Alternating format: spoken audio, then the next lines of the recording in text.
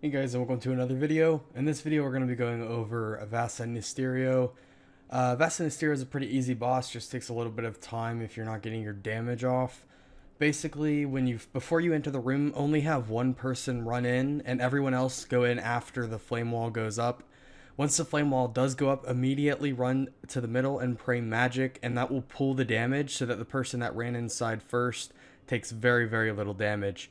Then you're going to proceed to attack Vasa Nistirio as it walks towards all of the crystals. Once Vasa is nearing a crystal, focus all of your damage on the crystal. You're going to range Vasa Nistirio and you're going to melee the crystals. You're going to repeat this until Vasa is low HP. Once Vasa is low HP, you're going to use your blowpipe to finish Vasa off. Occasionally, Vasa will do the teleport special attack, and if it does, the people that are teleported near Vasa, just make sure to watch your HP closely as you can easily die if you're low HP. You're also going to want to protect range as soon as possible after it damages you. There is a little bit of a delay, uh, but you're going to want to do that ASAP so you don't get comboed out. And if you're teleported away from Vasa, which is near the crystals, you're going to want to pray magic and run into the middle area. And this, once again, will pool the damage so that everyone takes way less damage. So um, that's pretty much it for Vasa. Pretty easy boss.